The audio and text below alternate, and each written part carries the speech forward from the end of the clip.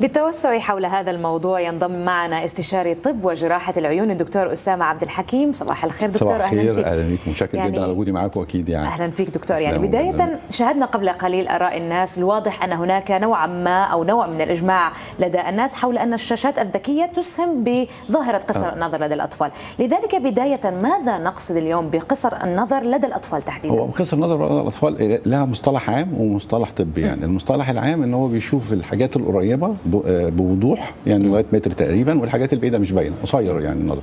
المصطلح الطبي إن هو العين نفسها كبيرة شوية. فكبيرة هنا بنتكلم على ملي ربع ملي مش يعني العين نفسها حجمها كبير شوية. ودي نقطة مهمة جدا آه، في تركيبه العين لأن إحنا بيبقى كل سنة ممكن النظر يتغير. لأن لو حصل نمو في حجم العين الرقم ده ممكن يزيد. وهكذا لغاية ال 18 سنة اللي هو سن البلوغ يعني. فلو اتكلمنا بالصفة العامة هو الطفل بيشوف الحاجات القريبة بوضوح الحاجات البعيدة مش باينة زي ما حضرتك ذكرته في التقرير. آه لكن ال- الناحية الطبية بالنسبة لنا الرقم اللي إحنا بنشوفه أو اللي بنكتبه بيعني إن العين دي كبيرة حجما شوية. ودي نقطة مهمة جدا جدا جدا كتير يعني تبدو غريبة وساعات بنحاول نشرحها للناس لأن العين كبيره هنا مش بتكلم على حاجة ضخمة أنا بتكلم على 0.1 ملي أو 0.2 جزء من 10 من لأن على هذا الاساس على هذا الأساس كل سنة ممكن ألاقي الرقم ده بيتغير, بيتغير. وبيزيد. لأن في هنا حجم. إحنا بنتكلم على بيزيد ما حجم. بيقلش. ما بيقلش. ليه؟ لأن إحنا العين كبيرة. فبالتالي الرقم ده موجود. لو لو العين تصغر الرقم ده يقل. بس ده ما بيحصلش في الجسم. طيب، يعني؟ بطبيعه نمو الجسم إنه بيزيد. آه. فدايما الرقم يا إما زي ما هو يا إما يزيد. بس مش يزيد. طيب إيه اللي يخلي العين تكبر؟ من الأساس هل هو. نوع من الالتهاب مثلا لا ولا؟ هو mainly mainly genetics يعني مي في آه. الأساس هو عبارة عن الجينات بتاعت الجسم عشان نبقى واضحين يعني قصة النظر ده حاجة عبر التاريخ من زمان يعني النظارات دي تتعمل فهو في الأساس هي حاجة جينية في الجسم. يعني زي ما يكون واحد طويل قصير تركيبة جسمه كده. ده ده الأساس في الموضوع بس في البداية ما بيكونش عنده يعني بيكونش عنده مشكلة وبعدين بتظهر المشكلة ده معناه إنه العين نفسها كبرت زيادة عن اللزوم. لو العين جينيا. طبيعيه 24 مللي جينات. العين طبيعيه 24 مللي بقت 24 واحد من 10 24 2 من 10 الأي- ال ideal size بتاع العين معروف بالنسبة لنا. الناس دايما زي الكاميرا محسوبة بالملي يعني أقل جزء منها زيادة أو أقل يفرق معانا في يعني نموها ما وقفش عند مرحلة اللي كان المفروض يقف عندها ولكن أيوة، استمر في النمو. استمرت في النمو. المفروض إن العين مثلا عند سن الطفل أول ما يتولد وبعد ما يتولد بحوالي ست شهور تقريبا خلاص ال full size بتاع العين لو 24 مللي بقى موجود. وده اللي بنشوفه بيت- يمتد بقيه عمره على فكرة ما بتزيدش العين ما بدناش تكبر. يعني غير عن ولكن تبدأ كله. هذه الظاهرة من عمر صغير وليس مثلا من بعد 10 شهور. سنين آه من okay. ست شهور طبعا طبعا. ودي من من من رحمة ربنا يعني من حكمة ربنا لأن أنت المفروض إن الطفل اللي عنده ست شهور بيشوف ستة على ستة. فمش هيجيب ستة على ستة دي اللي هو ال ideal vision يعني مش طفل عشان ستة جسمه كله weak لكن العين نفسها جسمه كله ضعيف لكن العين نفسها بيشوف بيها كويس جدا. ما ينفعش يكون بيشوف عند ست شهور. عند ست شهور لما تعمل حاجة يكون يشوف الدنيا مزغللة معاه. طب هيشوف بيها كويس إزاي؟ عن طريق ال 24 مللي دول. فالعين لما تبقى 24 مللي زي الكاميرا بقى بيشوف زي ما حضرتك ذكرت بالظبط والمفروض تقف هنا خلاص. وده اللي بيحصل في غالبية الناس إحنا هنقول 80% 90% طب افرض استمرت في النمو؟ ابتدى يظهر عندي بقى قصر النظر. استمرت في النمو ليه؟ نتيجة تركيبة الجينات بتاعة العين نفسها. ده في الأساس.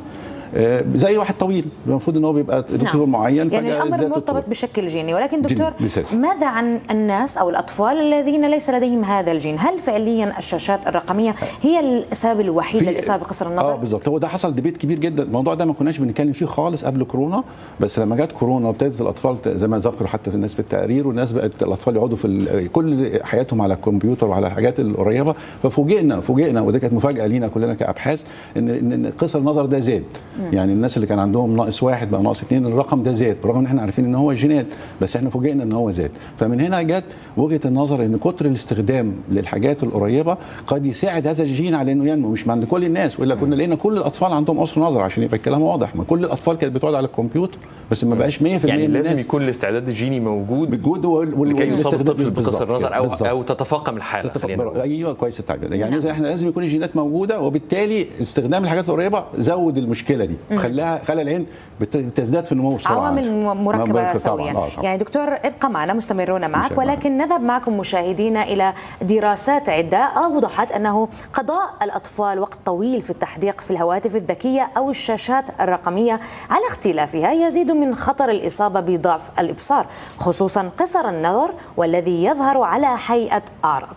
هذه الأعراض قد تكون مثلا ضيق في حدقة العين الجلوس بقرب من شاشة التلفزيون أو تقليل تقريب الهاتف الذكي من الوجه لصعوبة قراءة آه، الكلام المكتوب. هذا بالإضافة إلى احمرار العين والصداع المتكرر وهو ما يتطلب بالتالي المتابعة المستمرة وضرورة الانتباه لهذه الأعراض من قبل الوالدين واستشارة الطبيب لتحديد المشكلة والتعامل معها. الموبايلات كانت مضرة علشان ما لو كنت لو تقعدي عليها كتير ف ت- عينك تزغلل منها وعينك يحصل فيها حاجات فالأحسن يعني ان أنا ما اقعدش على التلف... على الموبايلات كتير ولا على التلفزيون ولا على الكمبيوتر ولا على أي حاجة يعني. مش مدة طويلة. أنا اسمي عفاف هشام فرج شاهين وعندي 13 سنة وداخلة تانية إعدادي. أنا كانت مشكلة عيني اللي أنا كنت كانت بتزغلل قوي وبت- وبتدمع. وفي في حاجات أنا ما كنتش بعرف آه، آه، أقراها. وكانت لما بتبقى قريبة قريبة قوي وأركز فيها تبقى مزغللة. ولما كنت بصحى من النوم كانت عيني بتبقى ورمة كده وبتوجعني. وفي المدرسة كمان كان في كلام برضو كان في حروف برضو أنا ما ما, ما بشوفهاش. بلعب كتير على الموبايل وبتفرج عليه. هو الم... ال- العيني ما كانتش بتعمل كده في الأول. فأنا ما كنتش أساسا واخدة بالي من عيني وكنت بعمل اللي أنا عايزاه. لاحظت كده إن عفاف بنتي تمام؟ أما بتصحى من النوم بتبقى عينيها ورمة شوية تمام؟ بتاخد وقت شوية كده على ما يبدأ ال- الورم ده يروح شوية. وخدت بالي برضو إن البياض بتاعها بتاع العين مش ب... مش رايق كده مش بياض رايق لأ قلب على بينك شوية أو على احمرار خفيف كده. وبرضو حتة الموبايلات هي بتمسك الموبايلات برضو كتير زي أي طفل يعني طبعا موضوع التكنولوجيا والموبايلات دوت بقى أساسي معاهم. فكشفنا عليها وبدأنا إن إحنا يعني نمشي على علاج والدكتور حتى برضو ادانا قطرة. والمفروض انها نعمل إن شاء الله نضارة يعني نضارة ليها عشان نحافظ على يعني نخلي النظر يعني ما ينزلش أكتر من كده ونحاول نبقى أحسن يعني الفترة اللي جاية إن شاء الله. نعود لنستكمل باقي حوارنا مع الدكتور أسامة. دكتور أسامة يعني كما شاهدنا معك قبل قليل ومع المشاهدين هناك أعراض لربما تبدو واضحة لمرض قصر النظر. لكن هل جميع الأهالي على دراية كافية بهذه الأعراض؟ لا، للأسف. وهل هناك أعراض أخرى؟ لا للأسف طبعا أهالي كتير جدا جدا بيجوا لي والطفل نظره ضعيف حتى أنا ببقى مصدوم يعني عنده 8 سنين وابنه ما بيشوفش السبورة كويس ومش بيتفاعل مع الحاجة كويس وهو مش واخد باله خالص يعني. فالأهالي لا بيبقوا مش واخدين بالهم كتير يعني هنقول 50% من الأهالي ما بياخدوش بالهم. اللي زي ما أنتم ذكرتوا في الحلقة إن هو بيقرب من الشاشات يعني بدل ما هو قاعد يضطر يقرب من الحاجة أكتر حاجة بالنسبة لنا إن هو يقفل عينيه كده إحنا سميها بيزور على عينيه بيجي الاهل يقولوا squeezing أو squinting بس هو مش حاول أو هو بيعمل كده. لما بنقفل عينينا كده شوية بنقدر تبقى الصورة أوضح شوية اللي عندهم قصر نظر. آه الصداع طبعا ال- الموضوع ده. فإحنا عشان كده بيبقى حاجة أساسية إن إحنا لازم يبقى في فحص روتيني ده عند سنتين. يعني دايما بنأكد إن أي طفل عند سنتين لازم ناخده لدكتور عيون الأطفال عشان نطمن إن عينيه ما فيهاش حاجة أنا مش واخد بالي منها. لأن قبل كده في السن اللي أقل من سنتين حياة الطفل قريبة ما فيش مشكلة. بعد السنتين سنتين ونص ابتدى بيشوف التلفزيون وابتدى يتفاعل مع المجتمع فابتدى النظر هنا حتى لو في قص نظر جامد شوية بقت النضاره مهمة. والمرة الثانية عند دخول المدرسة اللي هو عند خمس سنين أو ست سنين سنة أولى. فإحنا دايما بنأكد على الفحص الدوري بين الحاجتين دول ونأكد إن الأهل لو لاحظوا إن في صداع زي الأهل الأهل ذكروا زي ما في إجهاد في العين بيقفل عينيه دي أكتر حاجة بيقرب من الشاشات عشان يشوفها بيقرب من الحاجات دي. طبعا في الموبايل والحاجات دي إحنا اتفقنا انه بيشوف القريب كويس فمش هيبقى في أعراض. لكن الاعراض في التلفزيون بيضطر يقرب من الشاشة. يمكن آه، في بعض الأحيان ده. الأهالي لما بيشوفوا الأعراض دي بيقولوا يمكن تكون أعراض مؤقتة هتروح مع آه طبعاً، الوقت ده أو اللي بيحصل فعلاً، وتيجي هل طبعاً. بتكون الأعراض دي مستمرة أم انه الطفل ممكن يعاني منها في يوم ويوم تاني لأ؟ لا طبعا؟ بيعاني منها شوية وشوية لأ. حسب آه. حالة الاجهاد بتاعه. يمكن ده لو- اللي بي- بيعمل بيخلي. الاهل آه بيخلي الاهل مش واخدين بالهم خالص إلا بتيجي المرحله بقى إيه إن راح المدرسة وبيكتب غلط وابتدى المدرس أو المدرسة يلاحظوا إن الطفل مش مركز فيبعتوا للأهل. وده كتير جدا بقى. يعني كتير جدا. إن الأب والأم عرفوا عن طريق المدرسة أو المدرس اللي بيدرس للطفل إن هو الطفل بيقول لهم مش بيتفاعل معانا كويس ومش بيجاوب كويس. يا جماعة خدوه لدكتور عيون أطفال. فالدكتور عيون. فلما يجي عندنا نفاجئ إن عنده القصة دي. وصراحة ببقى زعلان لأن أنت ليه ما كشفتش على ابنك وغيرته هنا؟ وهنا بقى بأكد على حاجة مهمة جدا يمكن ما ذكرتش في التقرير ده. لأن أنا كنت وأنا صغير كان عندي قص نظر نفس الحكاية وما اتقلقتش منه والدي ما كانش يعرف وما كانش واخد باله مني خالص وما كانش واخد بالموضوع ده لغاية يمكن الوعي كان لسه- ما كانش ما لسه. وقتها آه. طبعا. فلغاية ما بقى عمري 12 سنة تقريبا. في الفترة دي أنا كان عندي مشكلة كبيرة جدا إن أنا كان زمان يحاولوا يطلعوني في طابور الصباح عشان أدي المحاضرة والكلمة آه. كان زمان في طابور الصباح وكده ما كنتش برضه أطلع وكنت خجول جدا. كنت خجول لأني مش شايف الناس.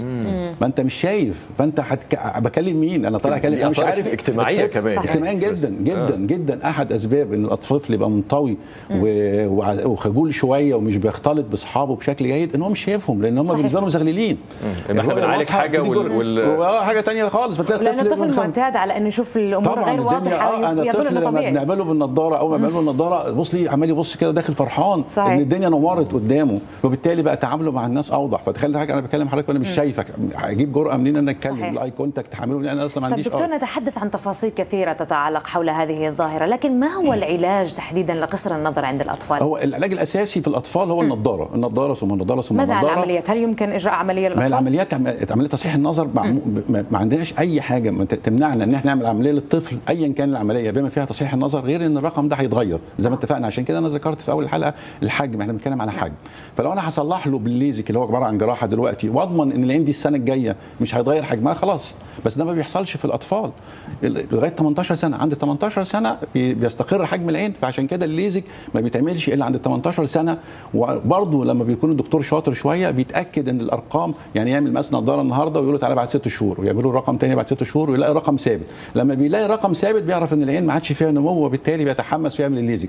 لأنه لو الرقم بيتغير يبقى هو لو عمل ليزك النهارده هيجي الشخص ده بعد سنة ويقول له ده نظري ضعف. ويفتكر إن الليزك مش مش نافع. لكن هو الحصل إن عينيه كبرت لسه في possibility أو في احتمالية العين تكبر. فإحنا نضاره ثم نضاره ثم نضاره بيبقى عند 13 سنة أو 14 سنة لو الطفل يقدر يعتني بالعدسات اللاصقه بنقدر نعمل له عدسات لاصقه لكن للأسف الشديد في بعض الأطباء في بعض البلاد ادعوا إن هم بيعملوا ليزك وإحنا ضدهم بشكل رهيب جدا وشفنا أضرار رهيبة جدا جدا شفنا بلاوي من الكلام ده هو العالم كله في العالم كله كل العالم لا لا يختلف عن لازم العين. تصل إلى حجمها اللي هو الثابت اللي هو ما عادش. يتغير اللي هو ما عادش يتغير وتعمل اللي انت. عايزه صحيح. بس هي دي الفكرة أكيد. ما فيش حاجة تانية تمنع يعني اشكرك شكرا جزيلا على كل هذه المعلومات استشاري طب وجراحة العيون. الدكتور أسامة عبد الحكيم شكرا لك شكرا جزيلا ليكم